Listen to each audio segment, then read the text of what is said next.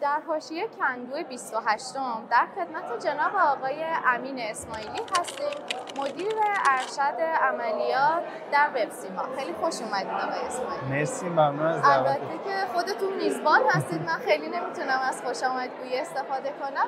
آقای اسماعیلی در اولین سوالم می‌خواستم بدونم که رویدادهای کندو چه هدفی رو دنبال می‌کنم و این ایدهش از چه زمانی توی وبسیما اومد و اجرایی شد؟ هدف کندو مهمترینش واقعا شبکه سازیه ایجاد تعامل بین آدما اشتراک اطلاعات تیم سازی و پیدا کردن دریچه های جدیدی برای یادگیری. این مهمترین هدفشه که در کنارش ما معمولا یه سری ارائه ها از رویکرد تجربه باز از تو دل خود پروژه ها یا مفاهیم نو موضوعات روز رو داریم.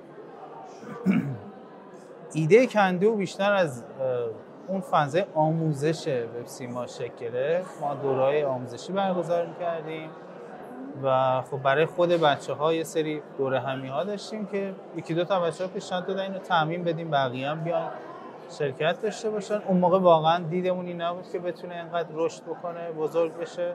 ما کندو اول با فکر می‌کنم 35 یا 40 نفر برگزارش کردیم. ولی رفته رفته feedback گرفتیم و تونستیم توسعهش بدیم. و فکر کنم مهمترین دلیلی هم که باعث شد ما بتونیم توسعهش بدیم اینه که شنونده های خوبی بودیم. از feedback شرکت کننده ها پیشنهاداتشون ایده هاشون کمک گرفتیم و توسعهش دادیم.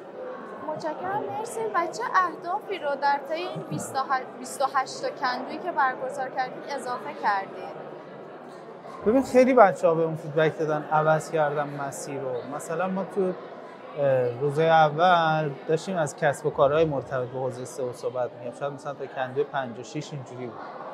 بعد احساس کردیم که خب یه جامعه کوچیکی رو تارگت کردیم. دعوت کردیم از قدیمی ترها و بزرگترهایی که توی این حوزه سابقه داشتن. یه ذره ارائه هامون جنس تخصصی و تجربه گرفت و این خیلی به رشد کندو کمک کرد.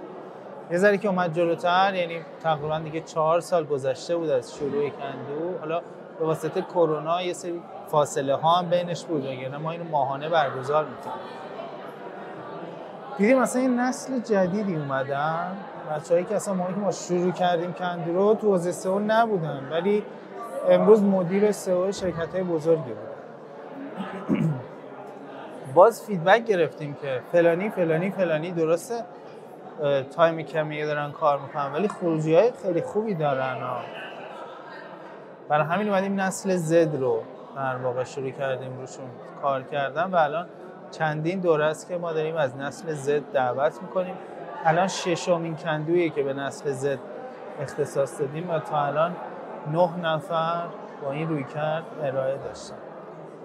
فیدبک هم خیلی عالی بوده مرسی ممنونم. و همه می‌دونن که رویداد برگزاری رویداد و کار اجرایی پر از چالشه. می‌خواستم از مهمترین چالش هایی که تو برگزاری کندوها داشتید برامون بگید. ببین واقعا فضای برگزاری مهمترین چالش پیدا کردنش که اون استانداردهای مورد نظر ما رو داشته باشه. هزینه زیادی رو تحمیل نکنه به بچههایی که می‌خوان شرکت بکنن. و یه سری آزادی های نسبی رو هم تو برگزاری داشته باشه. جایی هست که خیلی مدرنن تجهیزاتشون خوبه ولی محدودیت های زیادی تو اجرا دارن. ما محدودیم در تهران که بزرگترین شهر ایرانه به سه یا چهار تا سالن که اونم با توجه به اینکه تعدادشون کمه پیدا کردن تایم خالی خیلی سخت میشه. شاید مهمترین چالشمون اینه. یه چالش دیگه که خودمون بر خودمون ایجاد می‌کنیم اون تنوع تو اجرا. مثلا هر رویدادی ما یه بازی جدیدی یه مدل جدیدی از شبکه سازی یه تعامل متفاوتی یه اتفاقی رو بتونیم رقم بزنیم. فکر می‌کنم تو این 28 تا کندو ما حداقل تا الان 6 تا بازی گروهی اختراع کردیم. بازیهایی که می‌تونن بیش از 100 نفر تو شرکت بکنن. و همش هم از اتاق فکر خود کندو بیرون اومده متشکرم و برنامه ندارید که حالا این کندوها رو تو شهرهای دیگه هم برگزار کنید چون سبک کار و موضوع کار دیجیتال مارکتینگه و خب کل کشور می‌تونن از این رویدادها استفاده کنن. برنامهش رو ندارید چرا؟ ما قرار بود که از مهر 1401 یه سری جدیدی رو شروع بکنیم اسم کندو تریپ. مثل کندو زد که بچه های نسل زد میاره کندو تریپ هر ماه می‌خواست بره به یه شهر از بچههایی که تو همون شهر هستن استفاده بکنه و بعضی از ارائه دهنده ها رو هم از تهران ببره اونجا یا حتی بعضی از شرکت کننده ها رو. و هدفمون این بود که زیرساخت برگزاری این رویداد رو توی خود اون شهرها بومی بکنیم که خودشون ادامهش بده همین الان هم یه سری از شهرها مثل مشهد و جای دیگه خودشون شروع کردن. ولی اتفاقات شهریور 1401 به این طرف عملا غیر ممکن کرد این کار رو. و توی سال جدیدم با نظرسنجی که از شرکت کننده کردیم کندوی زد همچنان طرفدار بیشتری نسبت به کندو تریپ داشت.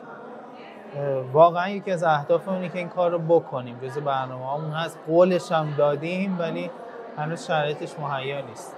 بسیار عالی و نکته میمونه در مورد کندو که تو سوالای من نباشه و دوست داشته باشید به مخاطبا برسونیدش. واقعیتش اینه که کندو هر اون چه که تا امروز محقق کرده به خاطر حضور آدما توش فیدبک دادناشون و تعاملشون.